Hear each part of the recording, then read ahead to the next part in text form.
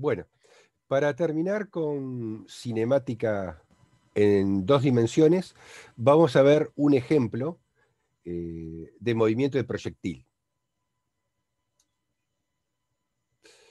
Bien, el ejemplo dice lo siguiente, se lanza una piedra hacia arriba desde la parte superior de un edificio con un ángulo de 30 grados con respecto al horizontal y con una rapidez inicial de 20 metros por segundo, como se muestra en la figura. El punto de lanzamiento está a 45 metros sobre la superficie de la Tierra. Entonces pregunta, ¿cuánto demora en alcanzar la altura máxima y cuál es esa altura? B, ¿cuánto tiempo le lleva a la piedra golpear la superficie de la Tierra, es decir, el tiempo que demora en llegar acá, determinar la rapidez de la piedra en el momento del impacto y D, encuentre el alcance horizontal de la piedra. Bueno, eh, vamos a ver qué hipótesis vamos a utilizar. Obviamente vamos a utilizar las hipótesis correspondientes al eh, modelo del proyectil. Es decir, voy a despreciar la resistencia del aire y voy a considerar que la única aceleración que interviene es la aceleración gravitatoria G, que es constante, siempre vertical. Y voy a considerar mi origen en el punto de lanzamiento y los ejes según cómo se muestran en esta figura. Es decir, como siempre, el eje eh, horizontal X es positivo hacia la derecha y el eje vertical Y es positivo hacia arriba. Y como estoy colocando mi origen en el punto de lanzamiento, el piso se va a encontrar en una ordenada de menos 45 metros, es decir, que está a 45 metros dirigido hacia abajo. ¿Correcto? Bien. Como estoy eligiendo eh, mi origen en el punto de lanzamiento, las coordenadas x sub 0 e y sub 0 van a ser 0. Y a su vez, las componentes x e y de la velocidad inicial las voy a hallar multiplicando el módulo de la velocidad instantánea con que se está lanzando v sub 0, es decir, 20 metros, por el coseno de 30 grados para calcular la componente en x y por el seno de 30 grados cuando eh, quiero calcular la componente en y. Cuando hago estos cálculos, obtengo de que la componente en x vale 17,3 metros por segundo y la componente vertical, es decir, la componente en y, vale 10 metros por segundo. Observen que este, voy a utilizar en la resolución del problema tres cifras significativas, es decir, que los resultados los voy a expresar con tres cifras significativas. Bien, para calcular la velocidad, eh, perdón, la, altura máxima alcanzada, este, voy a determinar el tiempo en que eh, demora en alcanzar dicha altura. Eh, esto lo habíamos planteado, esta ecuación, cuando en una de las diapositivas anteriores. acá, digamos, la voy a deducir. decíamos de que eso ocurre, es decir, alcanzar la altura máxima cuando la componente en i de la velocidad se anula. Es decir, voy a imponer que esto se anula y voy a llamar a t sub m como el tiempo en que sucede eso. Entonces lo que hago es decir, imponer de que la velocidad según i va a ser cero para un determinado instante t sub m. Y a, partir de esta ecuación voy a despejar T sub m, que me va a resultar que es igual a B sub i dividido g. Haciendo esa cuenta, es decir, los 10 metros sobre segundo dividido g, que vale 9,80 metros sobre segundo al cuadrado, obtengo de que el tiempo en alcanzar la altura máxima es de 1,02 segundos.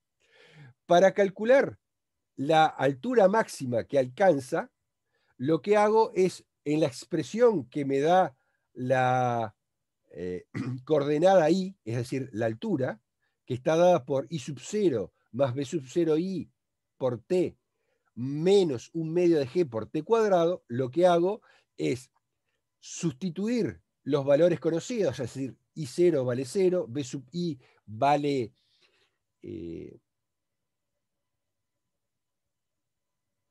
10 eh, metros por segundo, lo habíamos calculado, y este T lo voy a sustituir por el T sub M. Entonces me queda esta ecuación que cuando sustituyo los valores numéricos y opero, obtengo que la distancia de la altura máxima corresponde, perdón, la altura máxima corresponde a 5,10 metros con respecto al punto de lanzamiento. Esto significa que con respecto al piso, que está a 45 metros del punto de lanzamiento, implica que la altura máxima alcanzada con respecto al piso son de 50,1 metros. Bueno, si quiero calcular eh, el tiempo en que demora en alcanzar el piso, lo que tengo que hacer es eh, imponer que la altura, el I, para un determinado tiempo, que es el que quiero calcular, tiene que valer menos 45 metros y voy a llamar T asterisco a ese tiempo. Es decir, voy a imponer de que para un tiempo T asterisco, el I tiene que valer menos 45 metros. Bueno, sustituyendo eh, los valores numéricos, impongo que I es igual a menos 45, entonces b sub 0i por t asterisco menos un medio de g por t asterisco al cuadrado, que es igual a 10, que vale b sub 0i, por t asterisco menos 4,90, que proviene de un medio de g, que vale 9,8, multiplicado por t asterisco al cuadrado. Eh, pasando, digamos, este 45 al miembro de la derecha e igualando a 0, obtengo esta ecuación, que es una ecuación de segundo grado que tiene como incógnita a t asterisco. Bueno, para resolverlo aplico la fórmula eh, que ustedes conocen, digamos la resolución de una ecuación de segundo grado, y en principio voy a obtener dos raíces. De esas dos raíces, una va, eh, digamos, eh, me van a dar dos raíces reales una positiva y una negativa. La que voy a tener en consideración es la raíz positiva. Entonces, eh, de acuerdo a la fórmula de resolución de la ecuación de segundo grado, T asterisco va a ser igual a 10, que es el opuesto de, de, este menos 10, más menos la raíz cuadrada de este 10 al cuadrado, menos 4 por este coeficiente que vale 4,90 y por menos 45. Y todo dividido 2 por 4,90. Haciendo operaciones, digamos, y tomando la raíz positiva, 10 eh, más la raíz cuadrada de 982 dividido 9,80 me da 4,22 segundos. Ese es el tiempo en que demora, después que es lanzado, en alcanzar el piso es decir, el valor de I igual a menos 45 metros. Para determinar la rapidez en el momento del impacto, debo calcular primero la componente vertical de la velocidad en t asterisco y luego calcular la rapidez en ese instante. Para eso voy a calcular el módulo de la velocidad en dicho tiempo. O sea, eh, la componente de la velocidad vertical en este tiempo va a ser igual a b sub 0i menos g por t asterisco. Eso me da, sustituyendo el valor de t asterisco por este 4,22, este, me da menos 31,4 metros por segundo. Esta es la componente en i. Pero aparte, tengo que la componente en X vale 10 metros por segundo. Y por lo tanto, para calcular la rapidez, es decir, el módulo de la velocidad instantánea, tengo que calcularlo como la raíz cuadrada de los cuadrados de la componente horizontal de la velocidad más el cuadrado de la componente vertical.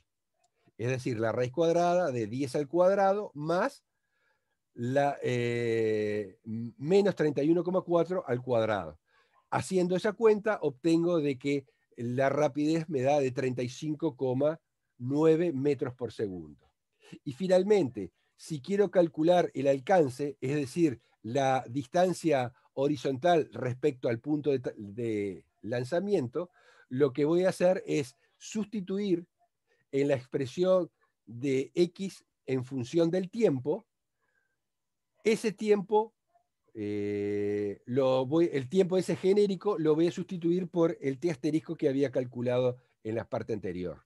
Entonces, eh, ese delta x, eh, recordar que x sub 0 vale 0, va a ser la velocidad según x, 17,3, multiplicado por t, asterisco. Y esto me da 73,1 metros. Es decir, que el alcance horizontal es de 73,1 metros con respecto al eh, punto de lanzamiento. Bueno, espero que lo hayan entendido. Nos vemos.